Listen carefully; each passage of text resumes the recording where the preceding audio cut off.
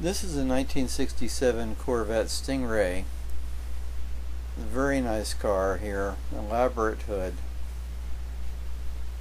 Underneath that hood you'll see is a 427 cubic inch engine. Another option was the 327 with either 300 or 350 horsepower. This one has um, 390 horsepower, 427 and there were even more high performance uh, options on that engine. There's the side pipes. This is the car that uh, shouldn't have been. The 67 was supposed to be originally what the 68 became, but the styling wasn't ready at that point, so the 67 wound up being very similar to the 66 with the exception of a few styling details.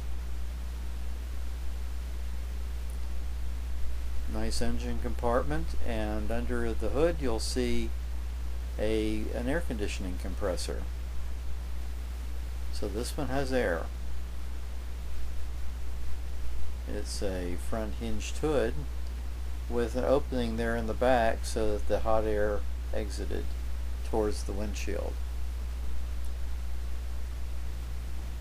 Now you'll see some chrome there that's shielding for the ignition to clear up the radio reception. That top folded under a panel there, you can see the crease on that panel.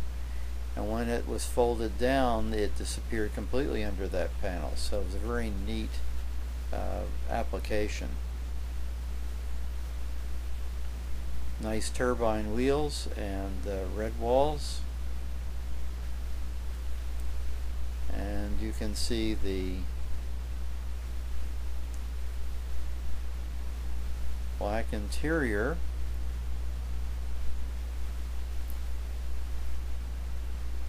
And the controls for the air conditioning are there above the clock.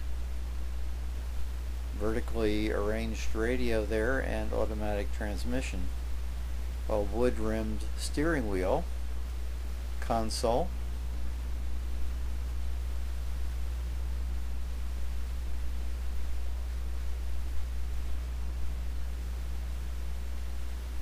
and full instrumentation here including a tach and speedometer that went up to 160 I believe on this model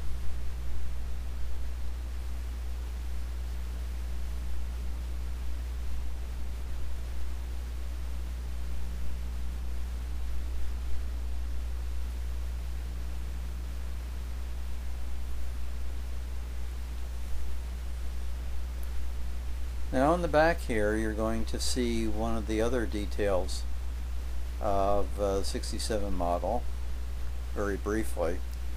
It's the backup lamps and uh, there they are right above the license plate uh, frame. I couldn't get much better view of them because I didn't want to get the license plate in the video.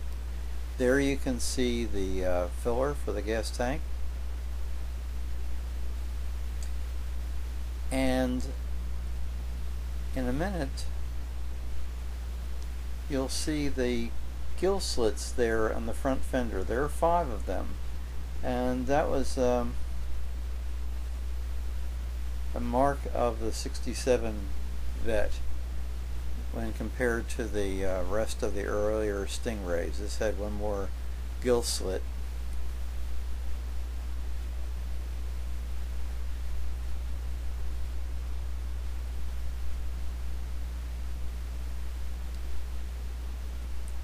radiator. I think the original radiators were aluminum. There's the compressor.